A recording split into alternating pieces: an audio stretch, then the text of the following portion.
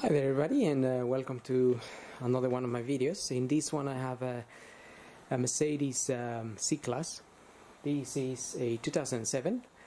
Um, I'm gonna be changing the rear brake pads and discs. Um, but I'm gonna start by um, getting the bonnet open and just opening the um, the brake fluid reservoir which is sitting there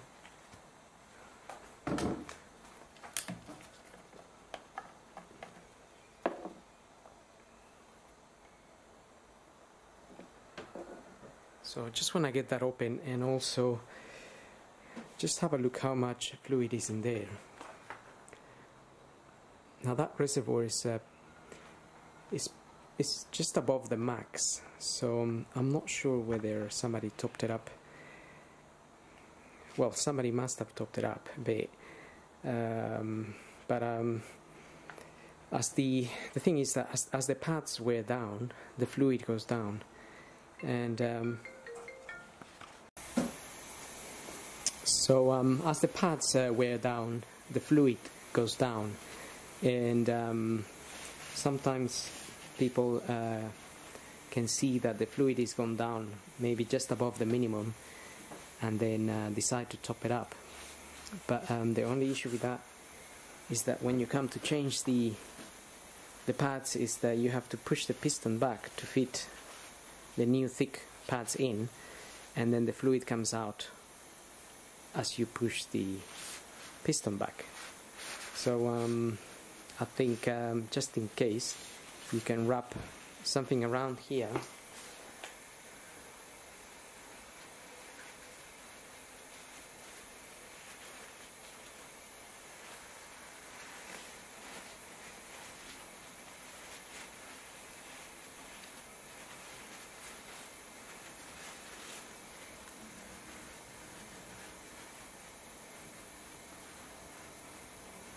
mean, the idea is that if if some fluid comes out, um, it will get absorbed by the paper, and hopefully not go down on, into the metal bodywork, because that fluid can be a little bit um, corrosive.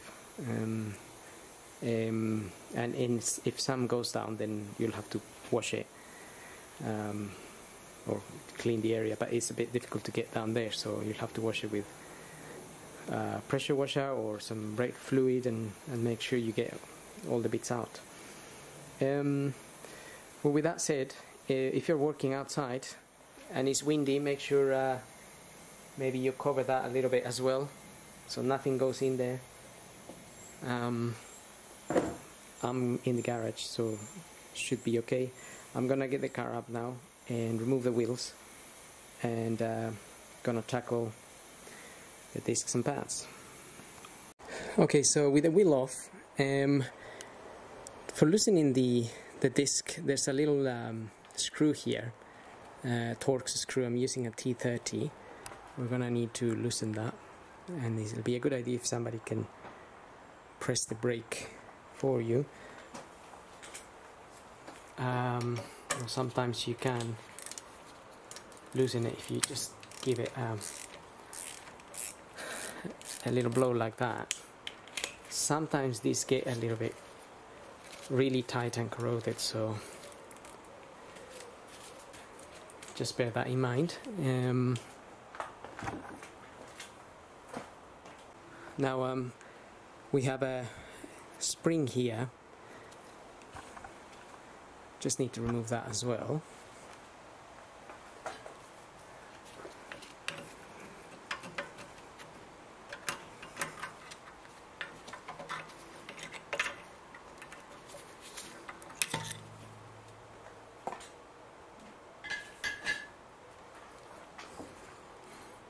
Okay, with that off, we're going to remove some um, Allen Allen bolts that are holding the caliper in place. For that, I'm using a 7 mil um, Allen key. I'm using this one here because my socket won't fit because it's touching this. Um, so you you can use um, something similar or um, an Allen key that is, is bent down but I just can't find mine at the moment so I'm gonna have to do with that Now before you can put that in there, there's a little cup which I already removed. I'm just gonna show you this one because there's two of them. So you just push it. It's like a little dust cup. that just comes out like that. So for this Allen key I need a 7 mil spanner. And uh, that is a is a tiny little spanner. So I'm just gonna use another one to get a bit of more for extra force on it. So I'm just gonna wedge it in there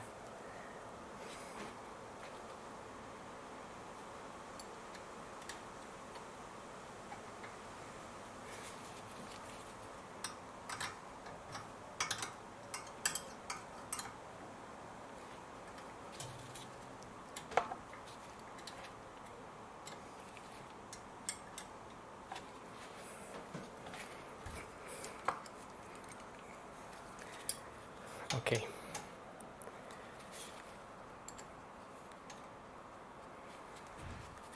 So just managed to loosen that.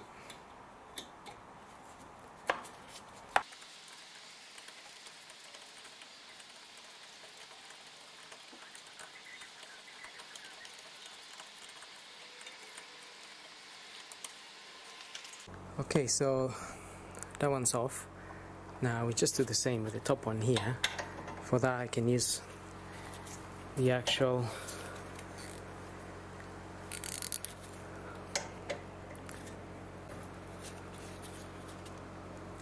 I can use the wrench I mean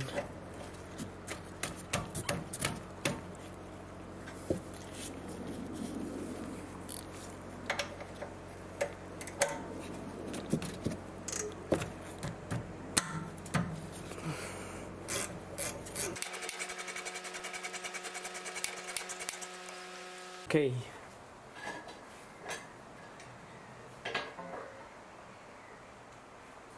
Now uh, I'm gonna use my screwdriver here just to wedge it against the disc or the pad. Um, we can pull this out a little bit now, but I just want to make use of to push the piston back. So I'm just taking uh, advantage of the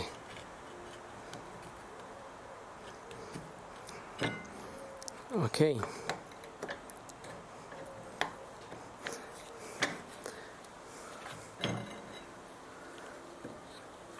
Gonna put this to one side now. Just be careful not to put too much stress on the uh, brake, uh, brake, I mean on the brake pipe. Um, now we need to remove. So these are the pads. Now these pads, you may see that they're pretty much brand new.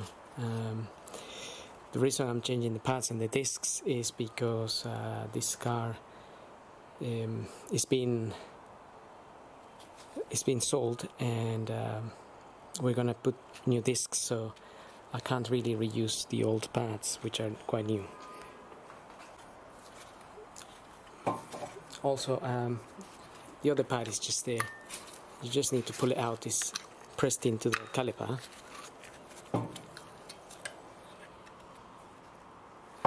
It's just basically clamped in there. I have an 18 mil to open this. This can get, these bolts get a little bit corroded and it's a bit hard to fit the socket.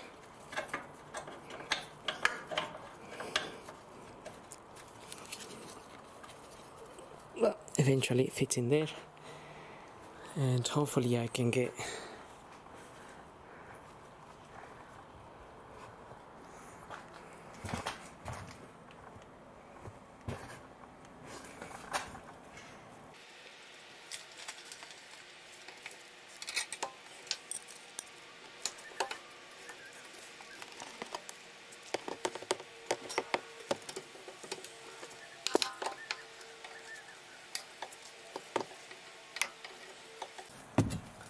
I'm just using a power bar to loosen this. Once you loosen them a bit, it'll be a lot easier to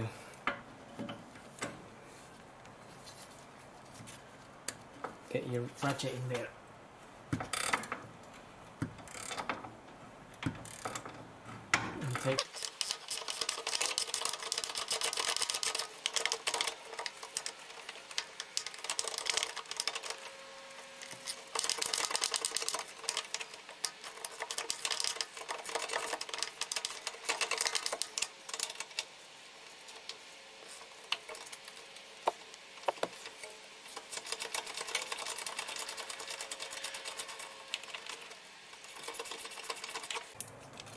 Clearly I'm not having a lot of luck with, uh, with room here, but I'm gonna use smaller uh, socket.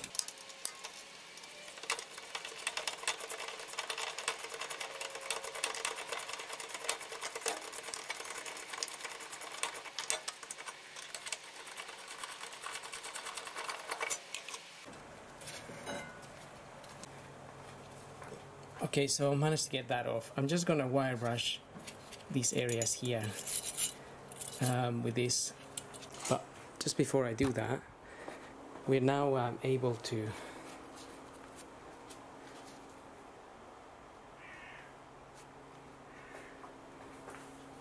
just able to get the disc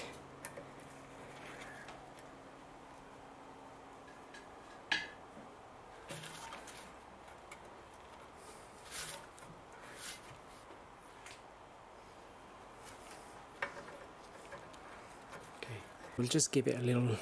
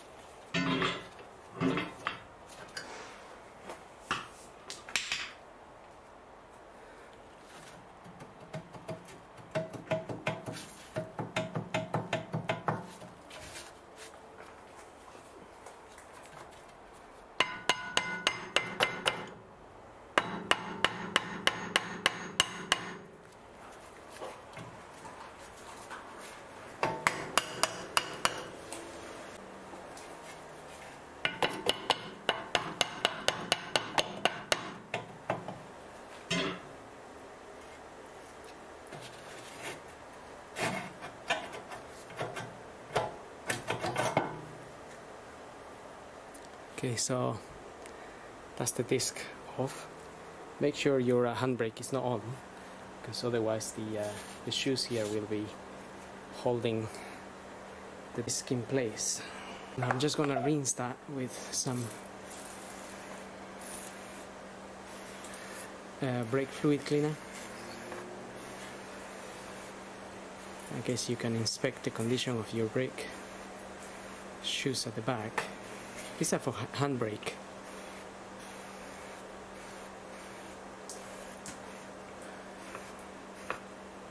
Which these are okay.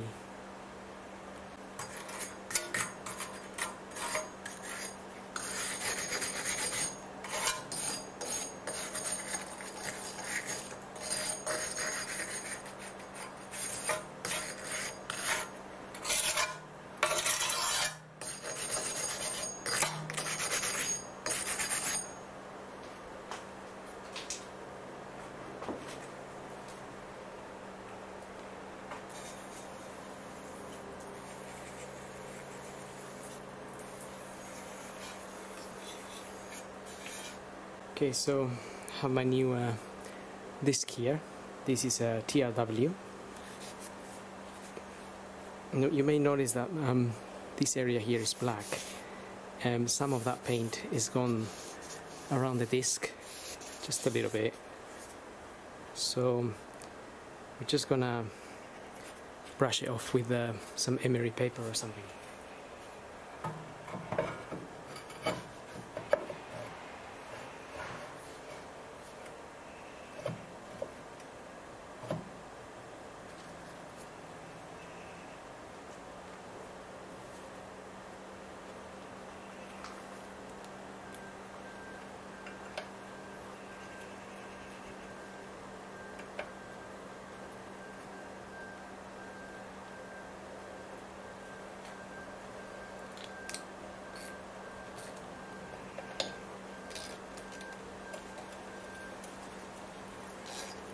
Just put in the little Torx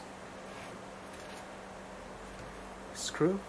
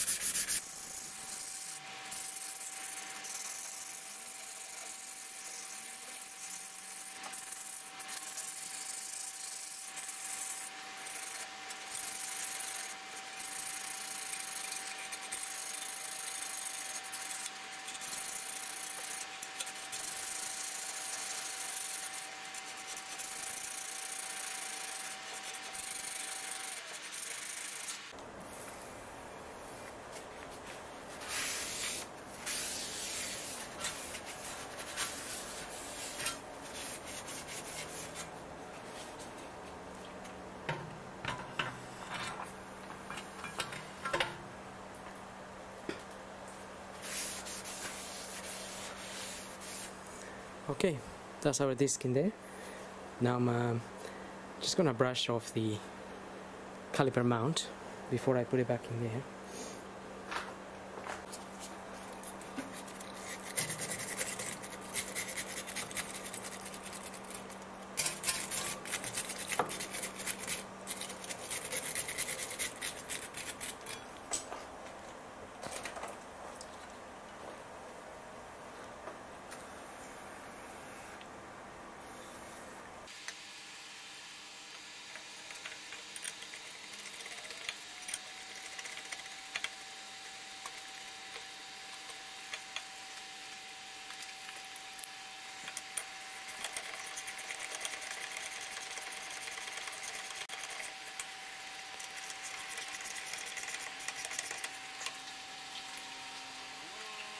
I'm just going to apply a little bit of copper grease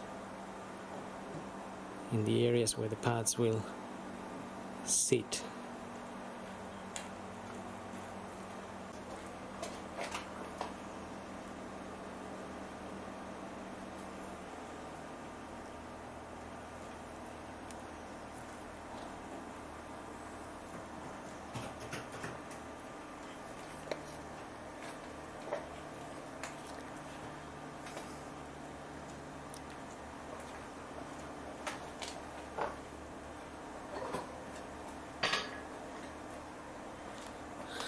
These are the brake pads I'm using as well, TRW GDB 1738.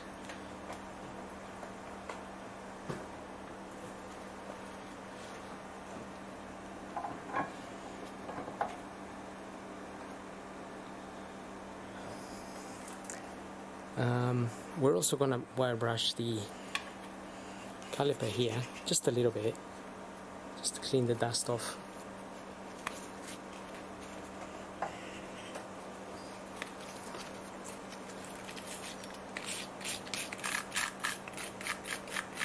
be careful not to damage the little rubber that is around the piston. Also just check the condition of it.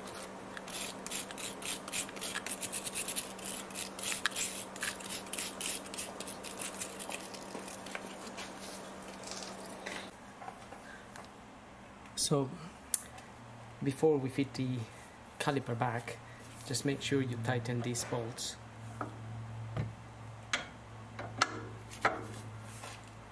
make sure they are nice and tight.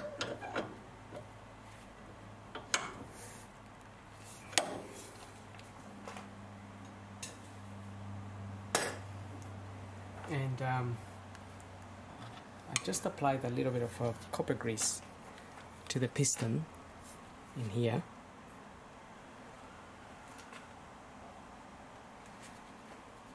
And we can get our pad and just uh, we need to push it in there basically.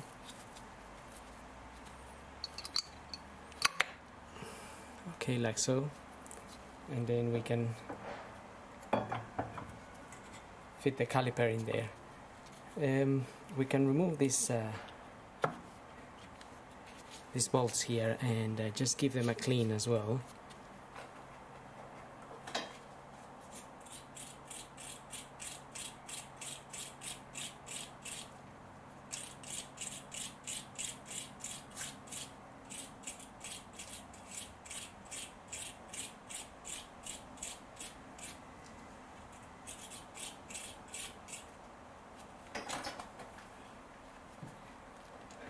Okay, I just brushed that off with a wire brush. Just put a little bit of copper grease on that.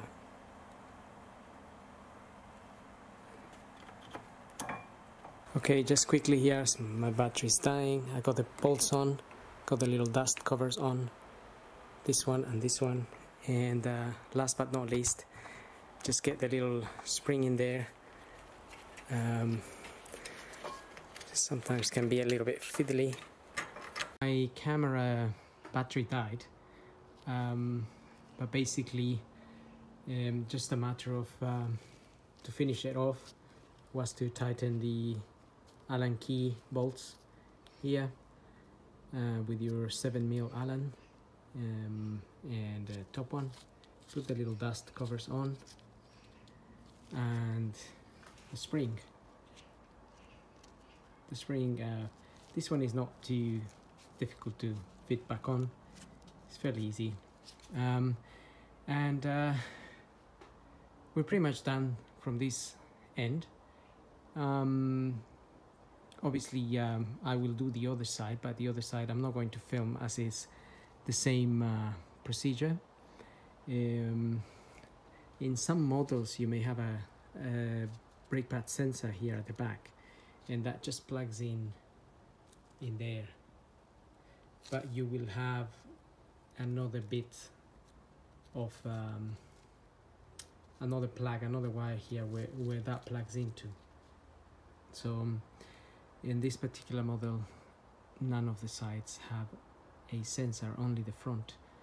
Um, and uh, the last bit will be to make sure your um, brake fluid um, is at a good level. If it's if it's overflown um, you may need to just uh, drain drain it a little bit. You can suck some um, some brake fluid with a syringe. Um, or you could uh, um, you could bleed the brakes from this uh, point here. You you need to loosen this little screw and put a pipe in there and then get someone to pump the brakes a little bit and then close this off.